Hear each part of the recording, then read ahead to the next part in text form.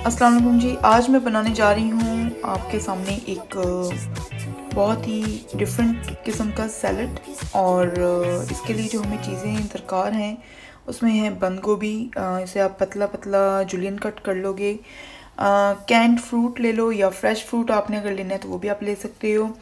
इसमें आलू, मटर और पास्ता मैंने इकट्ठा बॉईल कर लिया था। इसमें चीनी है जो मैंने अभी इसमें एक टेबल स्पून के करीब निकाली है। हो सकता है मुझे कम ज़रूरत हो। ये इटालियन पील्स आते हैं सिट्रस पील्स इसमें लेमन एंड ऑरेंज पील्स होते हैं। आपको ये एक टेबल स्पून चाहिए होगा। ये चाइव्स हैं ड्राइड चाइव्स ये एक टीस्पून के करीब चाहिए होगा। कटी हुई बारीक गाजर दो अदद होगी मीडियम साइज़ की। Salt white pepper and black pepper हमें चाहिए होगी जायके के लिहाज से जिस तरह आपको मुनासिब लगे। ये होगी जायके के लिहाज से जिस तरह आपको मुनासिब लगे। इसमें मैं क्रीम ले रही हूँ दो टेबल स्पून और इसमें मेयोनीज़ है तकरीबन। चार से तकरीबन चार से पाँच टेबल स्पून इसमें है। तो चलें, अब मैं आपको बताती हूँ कि इसको हम कैसे बनाएँगे। तो सबसे पहले मैं चीज़ों को जो है मिक्स करने से पहले मैं लूँगी पहले मेयोनीज़ और मेयोनीज़ में मैं इसको अच्छे से मिक्स करूँगी दूसरी चीज़ों को। पहले हम सॉस तैयार करेंगे। इसको मैं अच्छे से बीट करूँगी।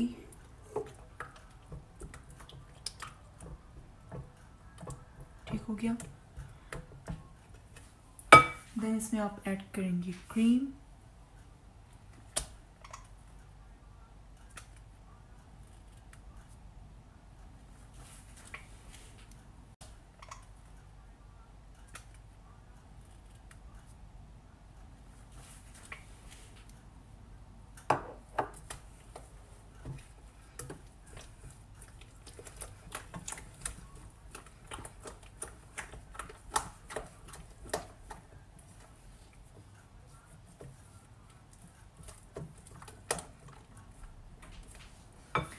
हम इसमें ऐड करेंगे spices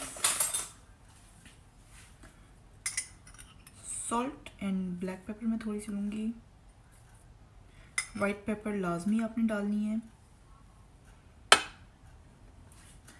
इसमें जाएगा थोड़ा सा शुगर थोड़ी सी बस हम लेंगे शुगर एक टीस्पून के करीब। इसमें मैं लूँगी कैरेट्स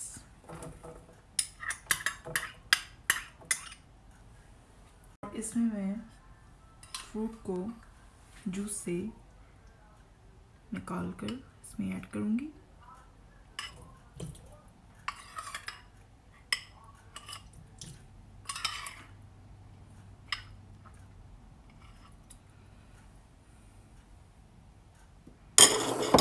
हम ये वाला पीस निकाल देंगे। इसमें हम जो चेरीज़ हैं, उसको निकाल लेंगे एज अ डेकोरेशन के तौर पर।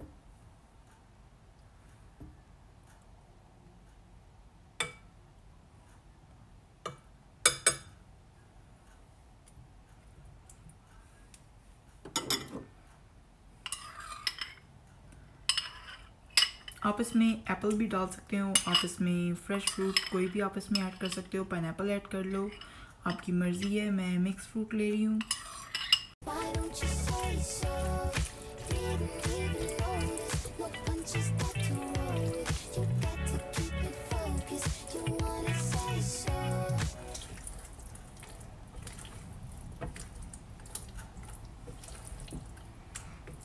अब इसमें हम ऐड करेंगे गोभी।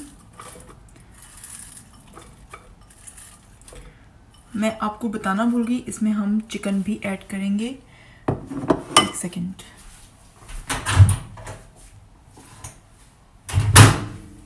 सॉरी माइक्रोवेव में था मेरा चिकन इस वजह से तो इसमें मैं चिकन भी ऐड करूँगी।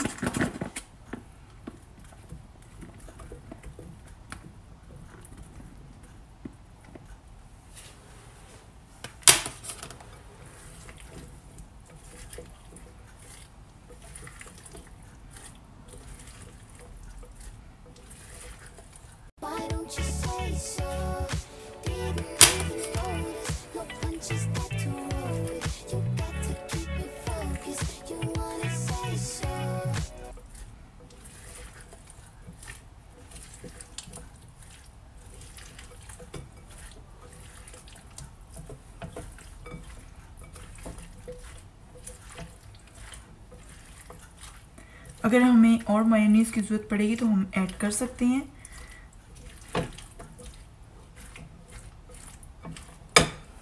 अब इसमें हम ऐड करेंगे आलू, मटर और पास्ता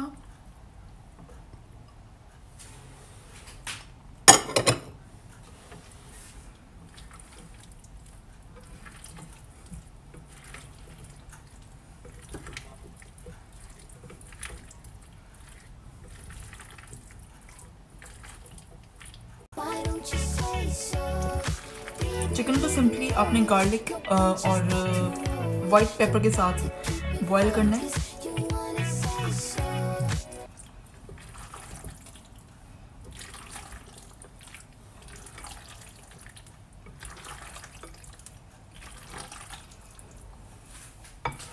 अब इसमें हम हल्की सी चाय ऐड करेंगे और थोड़ी हम बचा के रखेंगे।